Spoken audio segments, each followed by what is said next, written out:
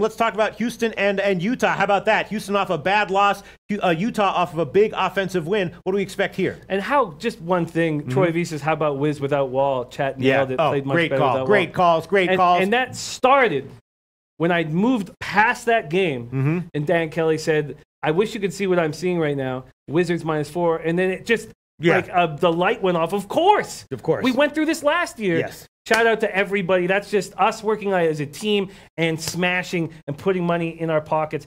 Suns Blazers, is that what we're on? Yes. Uh, well, no, uh, whatever you want to talk about. There's only two other games. Oh, Rockets Let's Jazz. Let's talk yeah, yeah. Jazz. That's the big one. Utah beat the Spurs 139 105 on Tuesday. Franchise record 23s, 60.6% from long range, 60.7% from the field. It's it's not quite to the same situation as we have in the NHL with the Flames, but what do we expect? Can they possibly put that up again? Seven Utah players scored in double figures. Mitchell's 20 points. 12 of 13 Jazz players shot 50% or better.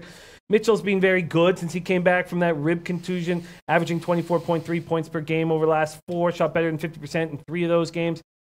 Now, what the hell do we do with the Rockets?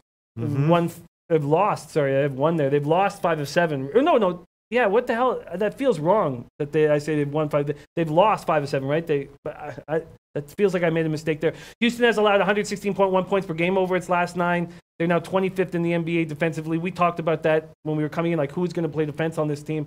They're coming off that loss to Minnesota that made no sense. 29 points after halftime. I had already counted that as a victory. This is a second meeting between these two teams this season. Both teams are healthy. I'll tell you what. Yeah, I mean, I, you're talking about the Rockets, right? Yeah, yeah, not only have they been losing, but their only wins have come against uh, the dumpster fire teams, the Bulls and the Spurs. Seven, yeah. Right, and, uh, and, and, and the only wins came against dumpster fire teams, Chicago and San Antonio. Yeah, I'll tell you what. I've been staying as much as I can away from totals in NBA unless mm-hmm. I see something very early in the morning. But you'd be liking under here.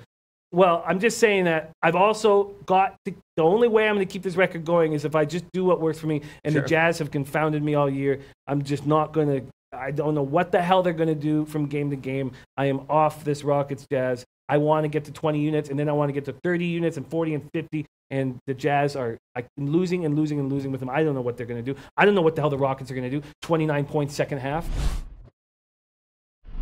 Hey guys, thanks for tuning in to our channel. Now, we've put a lot of work into producing all these free videos, so please help us out and keep all our content free for you forever by simply liking, sharing, commenting, and subscribing.